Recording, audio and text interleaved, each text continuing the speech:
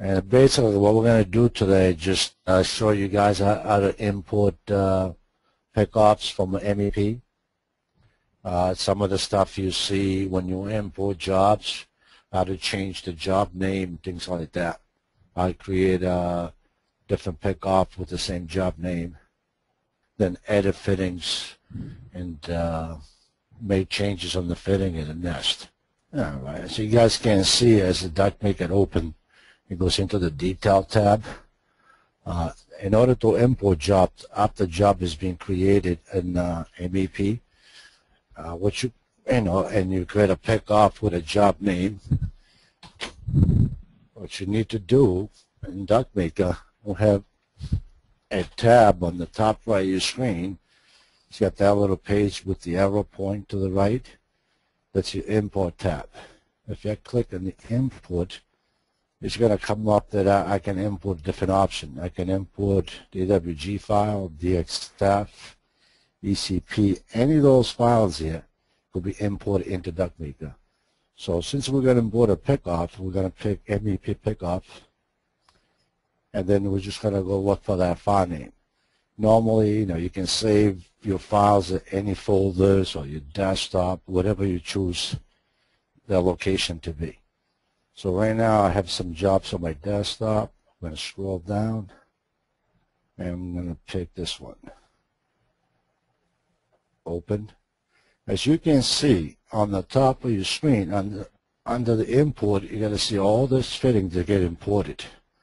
Also, on the bottom of it, it says problem, solution, category.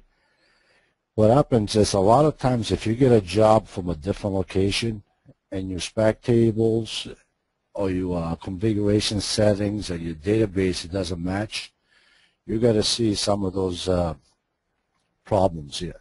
That's not really a problem. What you're going to need to do for solution, you need to map what matches to your uh, spec table. So I'm going to click on solution.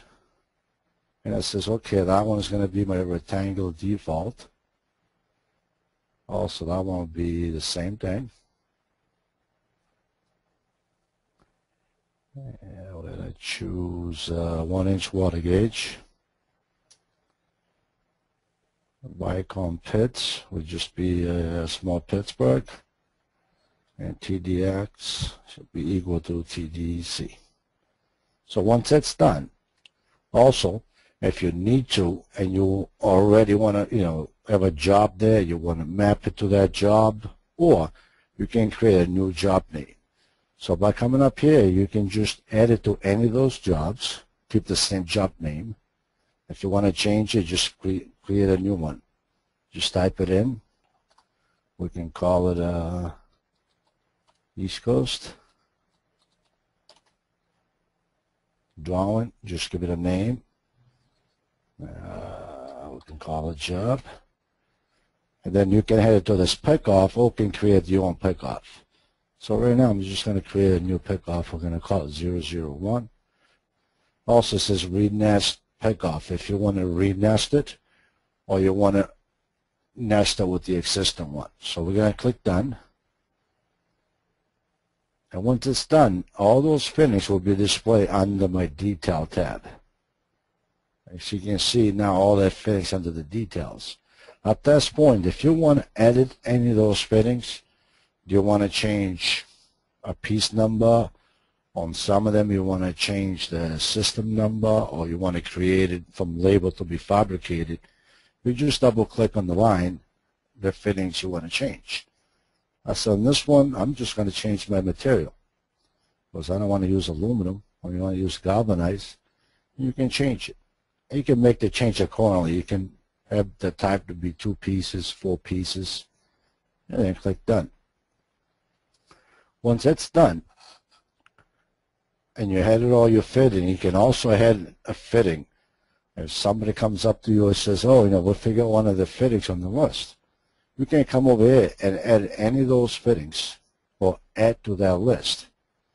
Uh, we're going to come back here. We're going to add a, a rectangle radius elbow.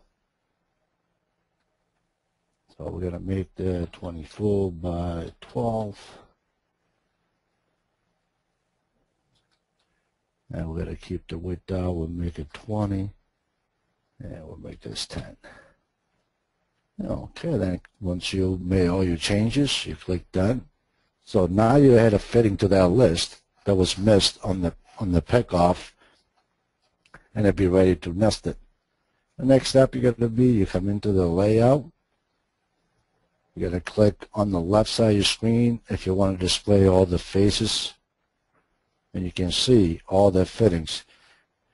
Uh, also, uh, when you see different colors on the facing, fitting faces, that means you're probably using different material. So once you think everything looks okay, you just click that nest button and your job has been nested.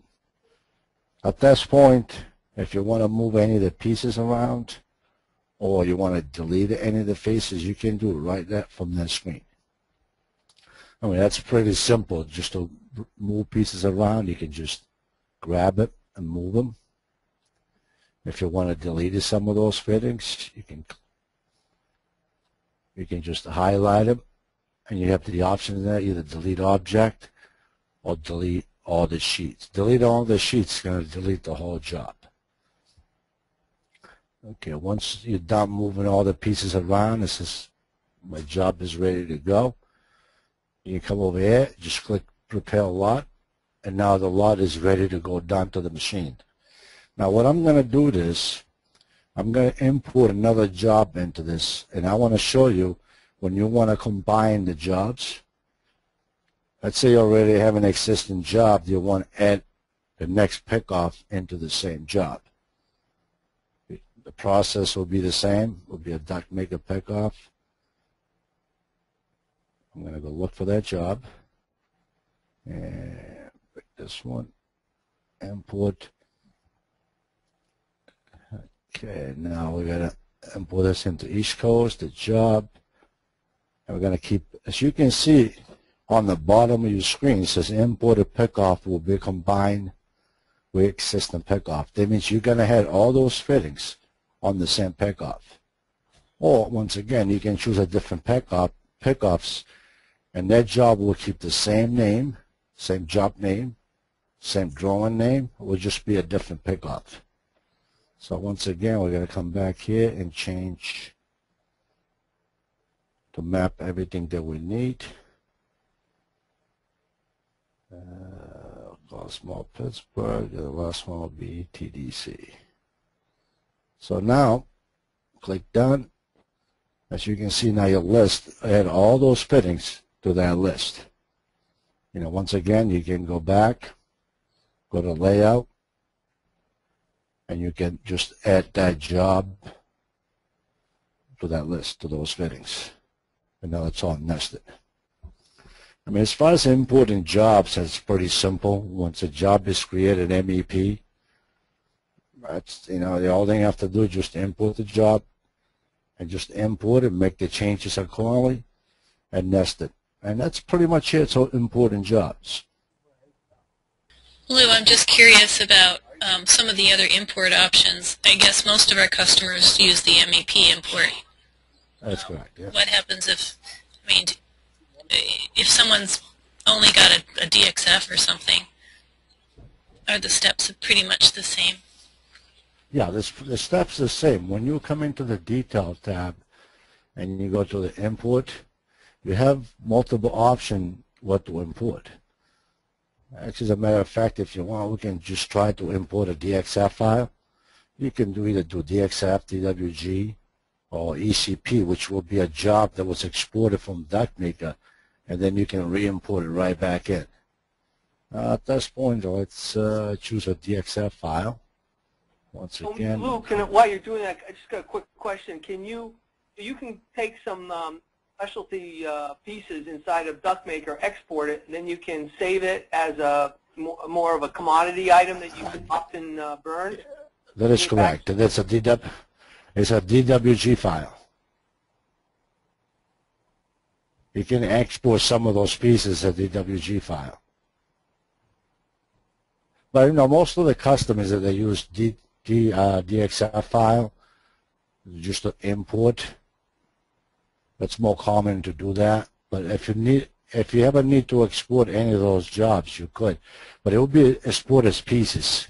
As you can see, right now it says I use this piece all the time. If you, that's a custom part you always use, and you need to export that part to store it somewhere else, you can export that part as DWG, and then just give it a name, and just tell it uh, where you want it to go.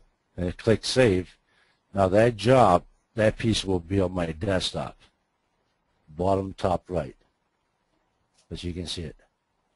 And if you need to re-import it, the process it will be the same thing. You come in, you come back to that details, import. There was a DWG file.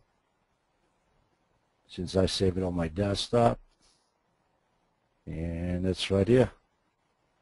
Open, and the parts gets imported. And once you click done, that piece is being saved. It's being saved as a part was a DWG or DXF that is a custom part.